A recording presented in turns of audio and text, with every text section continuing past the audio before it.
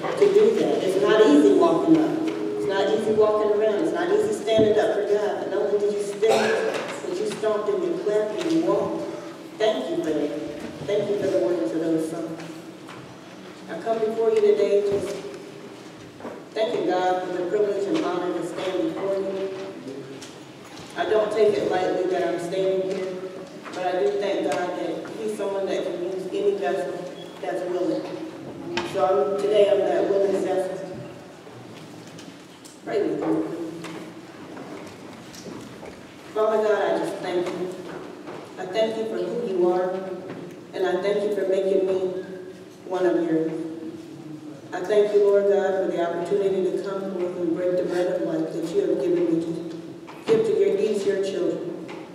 So hide me, Lord God. Hide me under your wing, that I may not be seen. Decrease me, Lord God, that you may increase. That they see and hear only what you would have them to know, that it comes only from you, Lord. Have your way, Lord. Take away all of me so there's only you, Lord God. I thank you.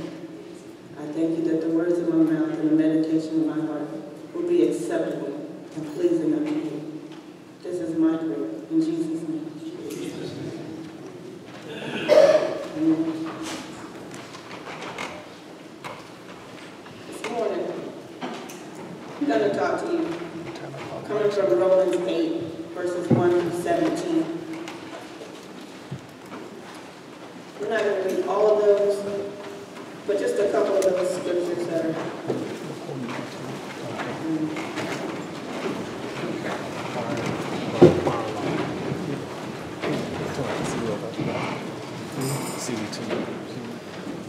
Therefore, brethren, we are not debtors, not to the flesh, to live after the flesh. For if you live after the flesh, you shall die. But if you through the Spirit do mortify the deeds of the body, you shall live. For as many are led by the Spirit of God, they are the sons of God. For you have not received the spirit of bondage again to fear, but you have received the spirit of adoption, whereby we cry, Abba, Father. The Spirit itself bears witness with our spirit that we are the children of God. And if children, then heirs, heirs of God and joint heirs with Christ. If so be that we suffer with him, that we may be also glorified together. That's the word of God.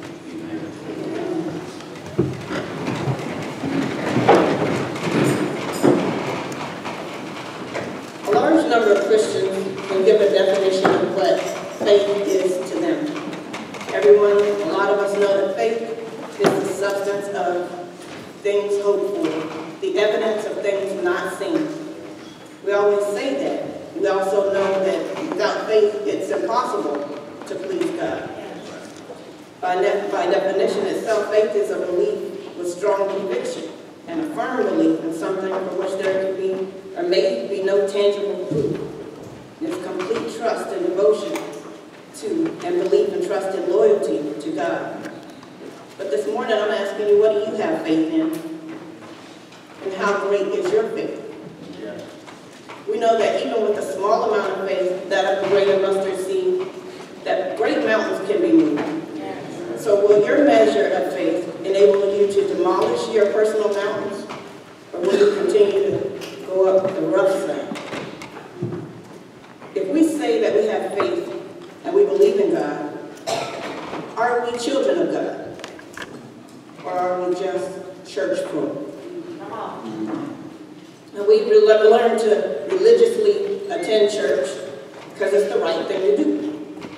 But you have to ask yourself some questions as you reflect on your last few trips to the sanctuary or ponder the next time you enter the sanctuary.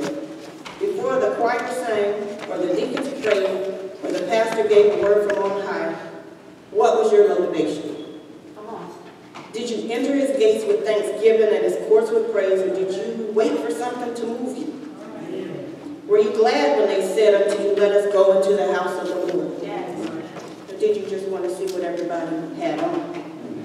Have we put on our Christian uniforms? Do we know how to dress up? To come out where others see us, but have we forgotten to put on the robe of righteousness? Amen. Are you clothed in his grace? Or have we put on a form of godliness and we're just denying the power of the cross? Do you hang around the cross? That's what Pastor did. Come on. Or have you been crucified with Christ? When you can say, nevertheless I live, I live, but Christ liveth in me. The life which I now live in the flesh, I live by the faith of the Son of God. The Son of God who loved me and gave himself for me. I live by the faith of the Son of God. We need to say that. I live by the faith of the Son of God. Because great is that faith. How much faith did he have? Can you see Jesus in the Garden at Gethsemane? He was praying to the Father, knowing what he was to endure. He had to have faith that God would deliver. He had to be in right relationship to know that although he would hang, bleed, and die, that God would ensure his resurrection. And that God wouldn't deviate from the plan or, like your friends, change his mind. That Father God would allow him to ascend and be seated at his right hand. The same spirit that had him rise from the dead is living and active and alive within us. We have been given the power to live right and to live eternally with our Father because of the faith of Jesus, who surrendered all, saying, Not my will, but thine. Yes. So in order for us to surrender all, we have to get in our own personal Gethsemane. The work of the cross has already been completed, and we already have victory because of Christ. But to walk in the fullness of what he has for us, we need only to crucify the flesh. Mortify the deeds of the flesh so we can walk in the Spirit and be all that God has called us to be. We have to cry out to our Heavenly Daddy and ask Him to help us. We have to go into the garden and ask the Father to break up the fallow ground of our hearts. We have to ask Him to till up the old hurts, the old disappointments, the old discouragement and the oppression. And as you break it up, Father God, uproot the weeds of unforgiveness, Yes. discord, Yes. sin, iniquity. Yes. Ask Him to rain down. Thank you, Father, for the rain. Rain down your living water so that we are fertile ground and able to produce fruit and a, a healthy harvest that will bring glory to your name, Father. Yes. That's what we need to pray. That's what we need to pray because we are His children. He's given us the same advocate that raised Jesus from the dead. So we don't need to fret or fear. We're not losing anything when we give ourselves totally to Jesus, His will and His way. It's not really a sacrifice if you consider that all you're giving up is hell and eternal damnation, condemnation, in order to live victoriously in this present life and to live in the presence of the King eternally. So what I was saying, think about it. Did you come here hungry? Was your spiritual belly growling because I, I need some meat. Um, thank you, Lord, for the fast. Were you waiting to be fed the sincere meat of God's word? Were you thirsty and need some living water to revive your inner man? Did you come broken and needing to sense God's tangible touch? Reaching out to touch the hem of his garment, wanting to experience corporate prayer and fellowship with those of precious like faith. When we come into his house, are we really expecting him to move? I know you came to hear a word of God, and I know you came to be edified from it, but in order to do so, it requires some self-reflection. You have to ask yourself, say self, self. Yes. am I truly a child of God? Or am I just one of those church folk? You can say that you were his because you were created by him for him, but can you truly call yourself his? Have you received the Spirit of God whereby you can cry, Abba Father? Do you walk in the light as he is in the light? So as I say this, let's look at some differences between children of God and church folk. Children of God, they not only hear and know the voice of God, but they also obey him. Yes. Jesus said, my sheep hear my voice, and I know them, and they follow me, and I give unto them eternal life, and I know them, and they shall never perish, neither shall any man pluck them out of my hand. But God's children hearken diligently to the voice of the Lord their God. They love the Lord, and they serve him with all their heart and all their soul. Now Jesus also said, those who love me keep my commandments. So now if sin abounds, so if grace abounds, excuse me, should sin much more abound? Well, no. We've all sinned. We all know that. We've all sinned and what comes short of the glory of God. But we have to acknowledge that we've sinned. And acknowledge that we're sinners. And amen. Acknowledge that we do have a sin nature. But we have to put that sin nature under subjection to the will of God. In order to get rid of that sin, though, we can't just talk about it and say, oh, I repent. We need to be real with God. We need, we need to tell him just how thing felt to our flesh. Because our flesh liked it. But we have to expose the devil. We have to expose that fleshly nature so that God can change it us. So we have to tell him that, we have to ask him continuously to just know that we have a heart to change. We have to ask the Savior to help us. And we have to remember that true repentance is not just mouthing the words. So God knows your thoughts even before you think them. So we're only fooling ourselves if we keep, continue to walk outside of his plan for our lives. But, you know, we can't be like those church folk. Because you know what they say, God knows my heart. Yes, God knows your heart. And it's deceitfully wicked unless you ask him continuously Come on. Come on. to change your heart to his heart. Yes. Okay? You have to ask him, ask him continuously to create in me a clean heart and renew the right spirit that's within me. Yes. Church folk, mm, that's not us. They ignore the inner man, the Holy Spirit. His voice is heard in the Word. The Word is speaking to us, but we don't want to hear what He's speaking if we just don't want to hear. God said, if he that hath an ear, let him hear what the Spirit is saying to the church. We have to have an ear. Have to not keep it clogged up with the things of the world. We need to hear the Word. We need to stop hearing the stuff that's on the radio and the stuff that's on the TV. We need to cleanse ourselves so we can be useful to the kingdom. Yes. As your faith grows, it will make you want to do what God wills for you. But how do you reach that plane of faith? If you build your faith on your own imaginations, you're just going to go wrong. So you have to let go of your own thoughts and take the thoughts of God. And where can we find the thoughts of God? But in the Word of God. Amen. You have the Word of God, and it's enough. So we can't compare the Bible to other books, because comparisons are dangerous. You can't say or think that this book contains the Word of God. It is the Word of God. Yes. It is supernatural in origin, eternal in duration, inexpressible in value, it's infinite in scope, it's regenerative in power, it's infallible in authority, it's universal in interest, it's personal in application, and it's inspired in totality. So we have to read it, write it down in our hearts. We have to study it, work it out, and then we have to pass it on. So church folk, though, they go to and fro asking everybody, you know, lottie-dottie everybody, what should I do? What should I say? What should I think? And they get their answers from worldly sources instead of consulting God's instruction manual for life. They reason without the Holy Spirit. And when they do that, they cause strife and sow discord among the brethren. We need to stay in the Word. God's children, that's us, We commune with him through the word and prayer.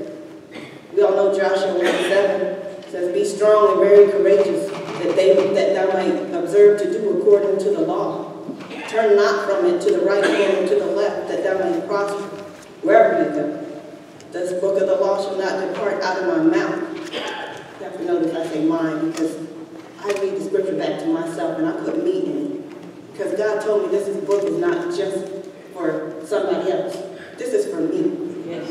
So I insert Carla, or I insert me, or I insert mine. Because God wants this to be personal, intimate with Him. So I'm going to meditate on this book day and night, that I may observe to do all that is according to His will. And then I will make my way prosperous, and I will have good success. Because He said, Have I not commanded thee? Be strong and of good courage, be not afraid. Neither be thou dismayed, for the Lord thy God is with thee wherever you go.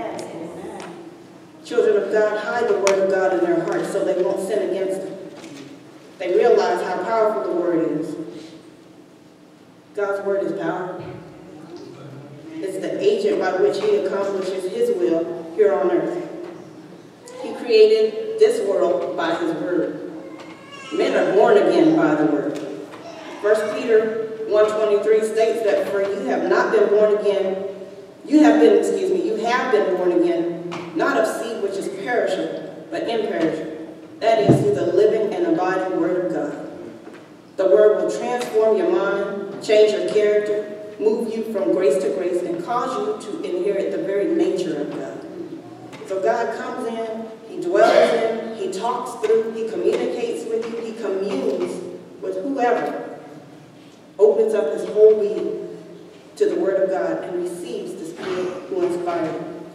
Children desire the sincere meat of the Word, and they don't follow Christ strictly for the perceived benefits. They find that the kingdom of God is not meat and drink, but it's what? Righteousness, peace, and joy in the Holy Ghost.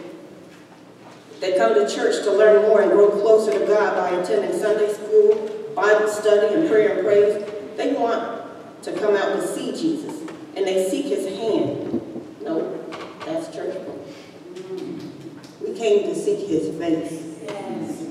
We came to lie before him and receive what it is that he has for us, but we came to serve him. Church folks, you know, they just desire the fish and the loaves. They long for the ride or the fried chicken. now, children of God, even if they've only begun their Christian journey, they meditate on the word. If they've been a part of the body of Christ for any length of time, they know that reading the word renews the mind and allows them to be one with Christ. And when Satan comes and rears ugly head, what do they do? They pull out the word. Yes. It's sharper than any two-edged sword. And they don't put Satan to flight. Yes. We need to be just like Jesus, say, it is written. Yes. Sometimes we don't even have to fight. We fight because we, for no reason. Yes. It is written. God said. That settles it. I am victorious. Yes. The battle's already won. Yes. I just need to keep the armor on because the devil's no busy. But I've got my armor on. What is the armor? Put it on.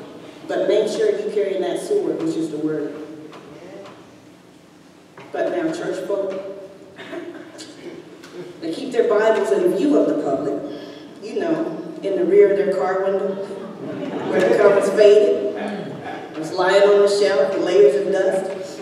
And they get angry with people. They get angry at whoever's preaching because they're hurting their feelings or they're preaching at them. Well, they find reasons not to receive the fresh word of heaven for their lives by finding fault with the speaker. I remember her when she, Say that. well, Come on. I remember me when I was. But I also have testimony that I know who God is and I know his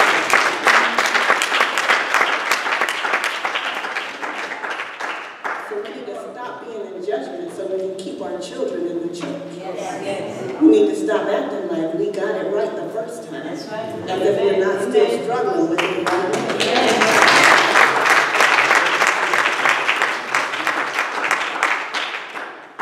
We were mortifying the deeds of our flesh, then our children would not be we're showing them unruliness and disregard for the Lord, and we wonder why they don't follow. They don't want to go to church because you don't want to go to church. You fussing and complaining because it's, you got to get your suit out the cleaner. You fussing because you can't stay up on Saturday night doing stuff you ought not be doing late in the midnight hour anyway. And tired and sleepy in church and you're mad at them for falling asleep. Their bodies need some rest. Well, We need to teach our children to lay down and honor the Lord before they come to church. Go to bed on Saturday night. Some of our problems, we want to call the preacher, we want to call the deacons, we want to call everybody to help us because we got some problems late in the midnight hour. I'm going to tell you, don't call me late in the midnight hour. Go to bed. I love- I do love you, and if you do call me, I know I'm going to come. But stop and consider, if we are leading lives of godliness, we need to go home to sleep. Rest. Rest. God wants us to rest. He mainly wants us to rest in Him. But as I said, stop finding fault with the speaker. Because God is speaking to you through them. And don't ignore them. Get delivered. Get it right with the Father and receive the good news of the gospel. The children of God have a passion for saving souls. They want everybody they know to come to the saving grace of our Lord and Savior Jesus Christ. Proverbs tell us, he that winneth souls is wise. Children of God want to enlarge the kingdom, wishing that no man perish, but that all come to know the love of the Father. They pray and proclaim that their whole household is saved. My whole household is saved. Amen. amen. That's the me. Um, they show compassion to those less fortunate, those who have fallen, and they encourage those that are new in the faith. We need to encourage the babes in Christ. They, children now, generally show forth love no matter where you find them. So they're going to love on you not just on Sunday in church and almost roll you over in the parking lot as you leave. They're going to love on you, whether you see them at their jobs, at a hospital, at work, no matter where you see them, they're still showing forth the love of God. But those church folk, help us Lord. Church folk want a pew with their name on it, and they want to leave the sanctuary, someone there sitting their seat, even if they hadn't been occupying occupied for the last 14 weeks. It's their seat. Church folk don't want to um, share their testimony of how good God has been to them and how God delivered them because they forgot the moment Jesus came into their life. They forgot the personal hell and torment they endured until he cleansed them up from all unrighteousness. They feel that only they themselves are worthy of Christ's suffering. Others can go ahead and burn in that lake of fire because they don't deserve mercy. You know why? Because those unworthy folk, they already got prayer and they already came up too many times for them to not have changed. They need to sit themselves down and go ahead and burn. Church folk forget to thank God that He never gave up on us. Thank you, Committed His love toward us. For while we were yet sinners, what? Christ died for us. We woke up this morning with new mercy. He gave me another day to acknowledge that He is, he is King of Kings and He is Lord of Lords. Hallelujah.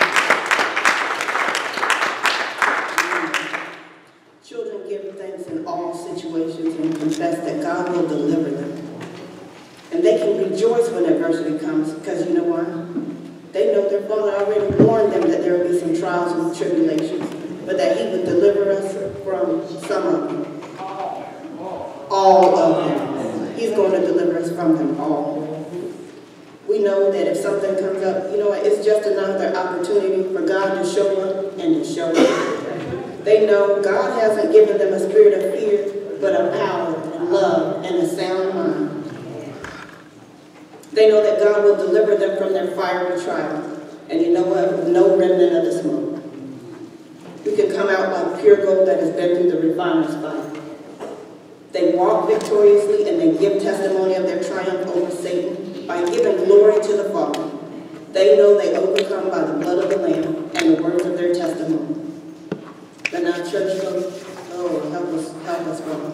church folk murmur and complain about all the things they're going through, what is going on, why they don't succeed, wonder why they don't overcome their trial, why me, oh Lord. They blame everybody, they blame the devil, they, they blame their friends, they blame, they don't even blame the enemies half the time, they just blame their friends, they blame the preacher, they blame the deacon, and they even blame God for the shortcomings.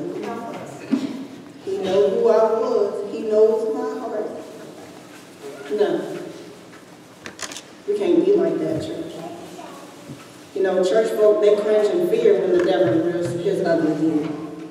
And it's always at the most inopportune times because they only call out the name of Jesus when other um, church folk can hear him.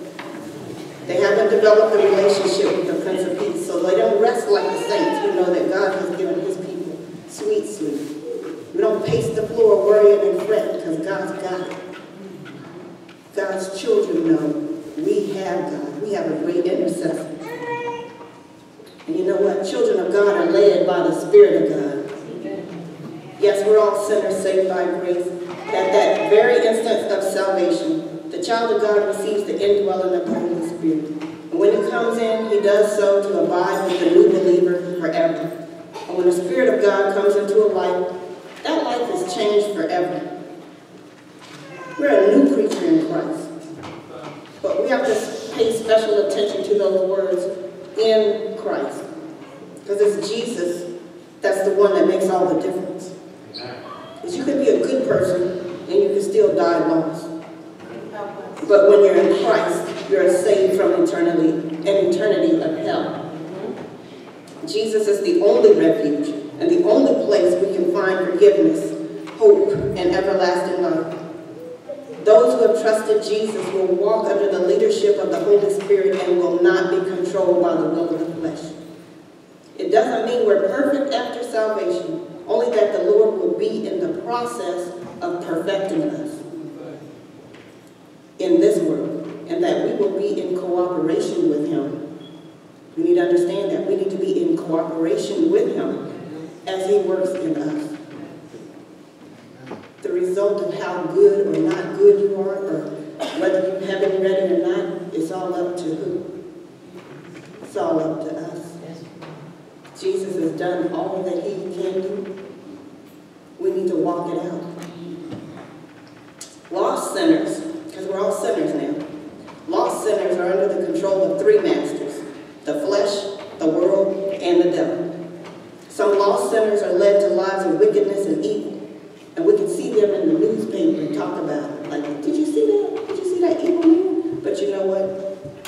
Other sinners, other lost sinners, you know what they, where they are? They're good church members. They're outstanding citizens. But they're all going and heading to the same hell. But there's hope. When Jesus comes into a life, he changes everything.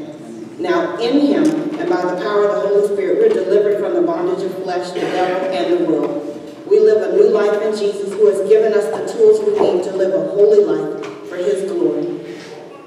We just have to use the tools he's already given us to say no to sin and yes to the Spirit. Help us, Lord. Children of God, God. I thank God that we know that we've already been healed. And we're just waiting on the manifestation sometimes. Children of God don't care how God's going to make it happen. They just trust that it will. By his stripes, we were healed. Already done. Already done. It's already done. Humbled ourselves, prayed, sought his face, we turned from our wicked ways. Now he's heard from heaven and he's healed our land. God wants us to be in good health even as our soul prospers. But if the manifestation of healing isn't noticeable immediately, or it doesn't transpire as quickly as we would like, then we still keep the faith. We still keep the faith. We still love him, and we recognize that we are only here because of his grace. And we acknowledge that he is a sovereign God. So I thank you, Father, for my healing. Now, church folk, they try to put God in a box and try to tell him, try to tell God what has to happen. If they're sick, they believe it's just part of living. They believe they'll only be healed after they seek some medical attention. And they forgot that the only true healing comes from God. True healing comes from God. I'm not talking just about your physical body. I'm talking about your mind. I'm talking about your heart. I'm talking about relationships. I'm talking about your spiritual well-being. God can heal it all. But Jesus, thank you, Jesus. We know that God is the great physician. We thank you for healing us, Father.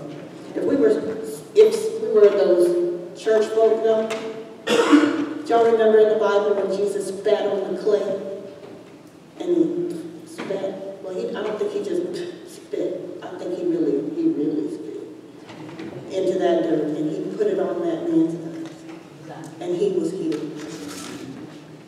Church folk don't, they turn up their face, walk away. I know he didn't. It don't take all that. We need to stop saying it don't take all that. It takes all that and some. When you see something that is miraculous, you need to go ahead and rejoice and dance for joy because healing is realized. You know, church folk, they want things on only their terms. They don't want anybody to praise God except for how they personally praise God. But I'm gonna tell you, just because I shout, I don't expect you to shout. Just because I leap, I don't expect you to leap. But if I feel running in my feet, I'm gonna run. I'm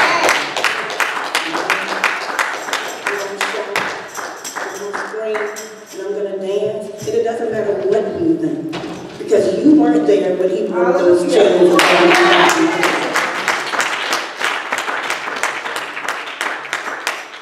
And God didn't deliver you from anything. My So God. you're just gonna sit there. Yes, And sometimes yes, I yes. get it, I just, I get some of the, I just can't help it. Yes, yes. I can't help it is when I can't help but tap my hands or pat, or stomp my feet Yes. or shout or say hallelujah. Yes. Because I'm gonna say hallelujah because he is my God. He's my deliverer, he's my strength. He is an awesome God. And I just have, I can't, I gotta say to them, I can't help it right there.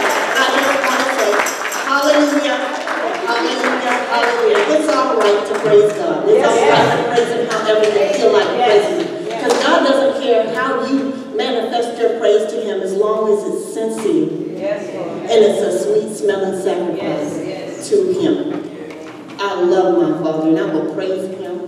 I don't care if you cuss at me, I'm going to praise him.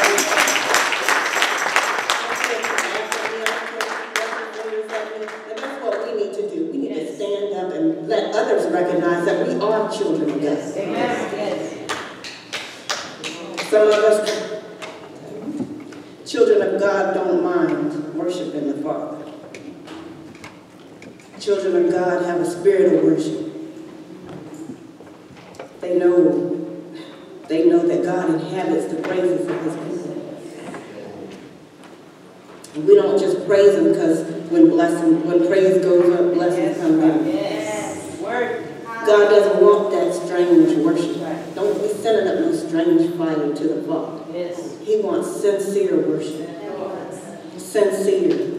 That means you gotta get ugly sometimes. Well, You can't, you don't just say, "Ah, Lord, I need you. You know you get ugly. Your face get contorted, you're sniffing, you're snot. When you really want something from God, you laying on your face. that's right. Yes.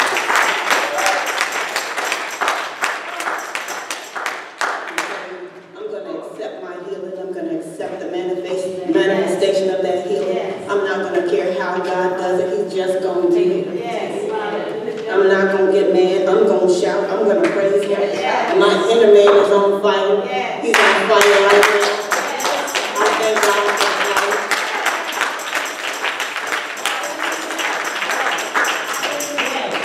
So because of what God has done for me, I don't care what you think about what I'm doing. Yes, yes. Yes. If I'm standing here and I'm crying, maybe I'm just so grateful about something that God has done for me.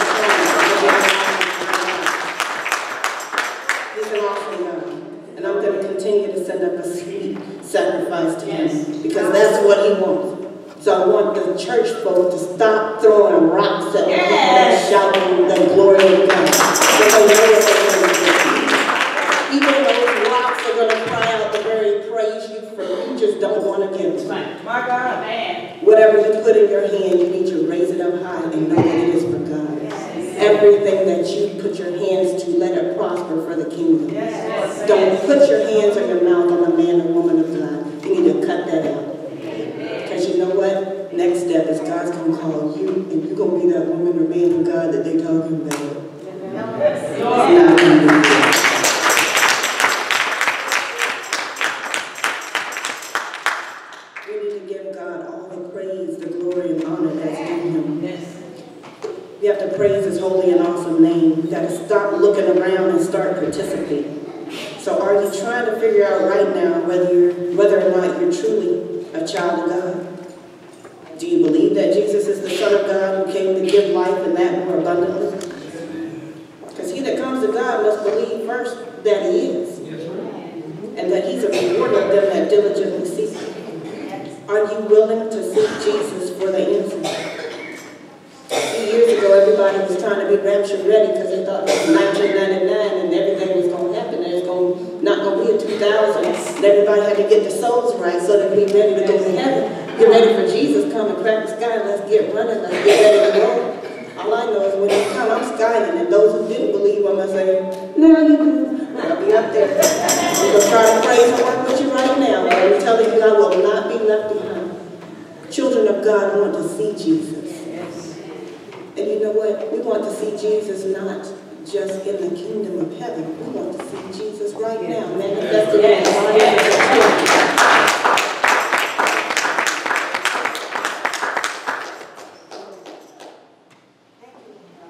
We have to be willing to seek Jesus for the answer. Earlier I was talking about Jesus in the Garden of Gethsemane. But you know when you're ready, because God's touching you. You have to surrender all that you are, withholding nothing. And it's all right to cry out to the Father. We need to give up the sinful lust of the flesh and be willing to submit to His will for your life and listen to that still small voice. If some of the things I said stepped on your toes and you realize that you partake in some of those things that those, you know, those church folks do, just seek forgiveness and ask the Lord to change your heart.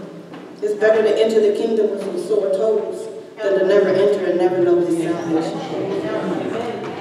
But we're in the last of the last days and time is winding down. We're seeing the signs that the earth is travailing, waiting for the soon coming King. There's no more time to play church. More, more, no more time to have a form of godliness and deny the power. It's time to get real with God and do what He called you to do. He's been tugging at your heart. He's calling you to a higher level. So we need to not be in disobedience when we just say, oh no, I'm going to go to church as usual. I'm going to sit on the same pew. If God is telling you to move to the left and to stand up and take on a different assignment or a different whatever it is, just go ahead and do it. Be obedient. Trying to figure out how it's going to happen. You and your carnal mind cannot figure out all the great wonderful things of God. As I said earlier, you, no one can understand God, but the Holy Ghost will help reveal him to you. Yes. Nobody can understand. Good. But right now, we need to know that the time is now, because God, is tugging at your heartstrings and calling you. Would you rather hold on to that sin and those sinful activities that you think even God doesn't know them? Because there are too many hell-bound, deceived people around the world sitting and occupying pews every Sunday morning who will be surprised to hear, Depart from me, you worker of iniquity. I knew you not. But I refuse to leave without compelling you today to get it right with the Father today. Let him know you love him and you want to see him in glory. You want to be caught up in the clouds when that glorious trumpet sounds. You don't want to taste death, but you want to live eternally with him. You love him and you worship him for who he is. You are no surprise to God. Not only does he know the number of hairs on your head, he knew you before you were formed in the womb. He knows all your faults, your issues, your shortcomings, your secret sins. But he still loved you enough to send his son to die on the cross, all to be able to receive you into his kingdom. If you confess Jesus as your Savior, then he needs to be your Savior. And he needs to be your Lord. But if you confess Jesus as your Savior because you were just scared you were going to hell, but don't see him as your master because you refuse to submit your will to his will, then your salvation is in question. You don't want to hear that, but it's the truth anyway. Jesus should be master. You should submit your will to his will. You can't come to God seeking salvation if you don't want to become a new creature in him and to serve him. You can't fake your way into the kingdom because you can't fool him, you can't scam, you can't bamboozle him. He sees right through our all of our ulterior motives and all of our agendas. The question is, do you really love him? Have you been born again of his spirit? Not the spirit of something else, but his spirit. If you have any doubt or uncertainty about where your eternity will be spent, then God's loving arms are reaching out right now to embrace you and call you to repentance. Ask God right now to create in you a clean heart so that you can become committed to your walk of faith. It's a faith walk. We have to trust Him. Some of us, we're just all churched out. We get tired of church as usual. You are the church. Yes. Don't you know that your body is a temple? Do you not know that? God is relying on us to do what he called us to do. But we cannot do it dipping and dabbling in sin. We are not of the world. We are in the world, but we are not of the world. I don't know about you, but I'm tired of church as usual. Is anybody tired of church as usual? If